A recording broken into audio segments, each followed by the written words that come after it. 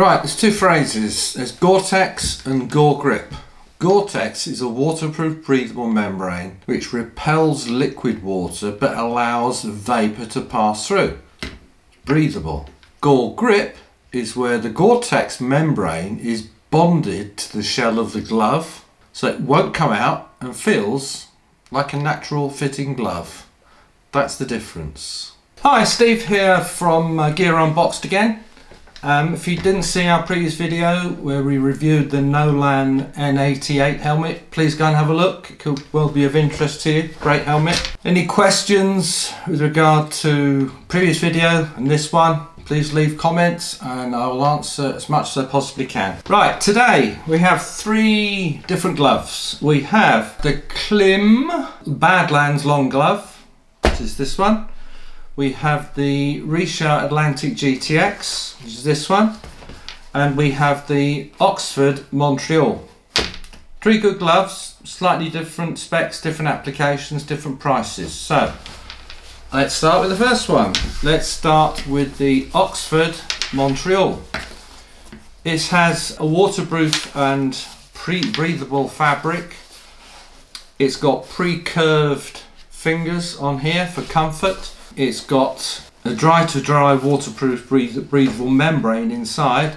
It's got a nice reinforced palm and it, the reinforced palm actually goes up the little finger there as well. So if you do have the unfortunate uh, case of uh, coming off, um, it's and you come down on this end, it reinforcement goes a bit further up, which I think is a good feature. It's got a draw cord here and it's got a, a wrist strap so you can be well well secured and well waterproofed as well.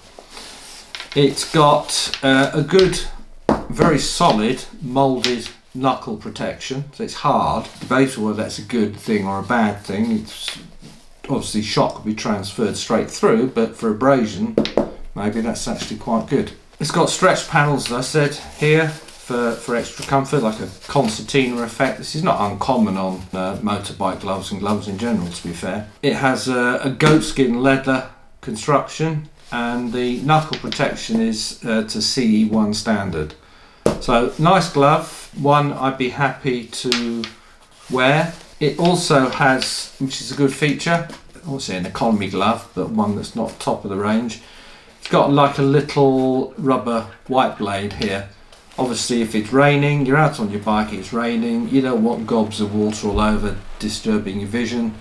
Gets to a point where you have to wipe it off, and you'll find that this works. Um, I had a pair of gloves like this myself. Good feature. So that is the Oxford Montreal. That one comes in at typically about $49.99. You might get it slightly cheaper, but I'm not so certain. Right, the next glove that we're going to be looking at is the Richa Atlantic GTX. This is, uh, as you can see, is a slightly is a shorter glove um, than the previous one, the Oxford one. It's got a mixed cowhide and super fabric construction. It feels good. It's waterproof, it's light, it's comfortable. Um, I've tried them on, I've worn them. It's nice. It's I would say it's more of a, a good summer glove, to be honest. Uh, it's got uh, what's known as a D3O knuckle protector. It's softer, but quite substantial. So it's a different way of, of doing it, really. I think this is probably slightly preferable, to be honest. Um, it also is touch friendly. So if you're using touchscreen, you can still use this without taking gloves off. Useful if you're driving with uh, a bike sat nav, of course. It has, you see these little white areas, which obviously be different colours depending on what colour options there, there are. There's quite a number of them. These are reflective. 3M Reflective is the brand name. See, it's got Gore Grip technology. It's it's good. It's good. I don't have any problem with this. It's definitely for me. That's a good a good summer glove. As I said again, 129.99. So we've got 49.99, 129.99, and then we come to what's known as the Klim Badlands Long Glove. And as you see, it is it is pretty long.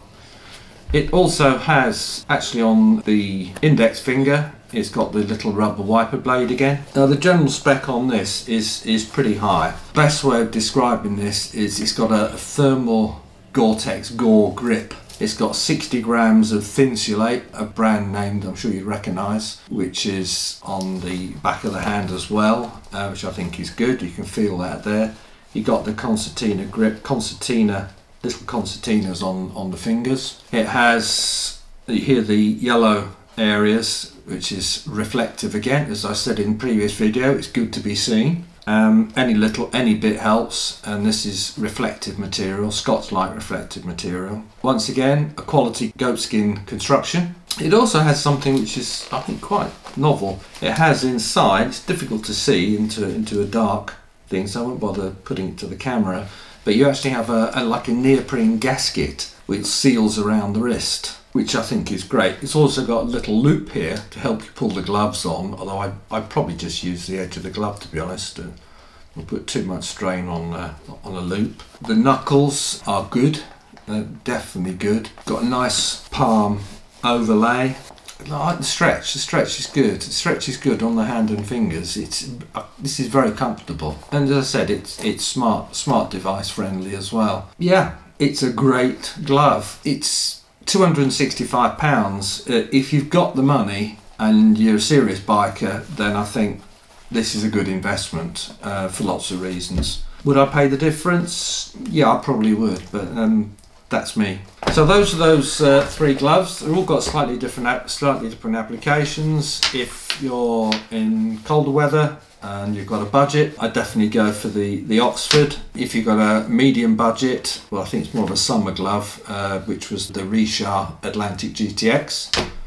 That's a good option. But this one, the Klim Badlands Long Glove, is I think very good and I would recommend it. Once again, the important thing is everyone's got different requirements, uh, different specifications. If you get down to the uh, the biker company in Cheltenham, links in the uh, comments below, you can see that down there. Then go and see them. Huge range of product, lovely day out, I promise you. So that's it for now. All I'd say is keep it upright. Do you mean I can't say that? I can say that. I can say that. I've just said it. Keep it upright enjoy your biking, make certain you got good gear, and thank you for signing in, looking at our channel, and there's more to come. So please subscribe, please like, and thank you very much. See you soon.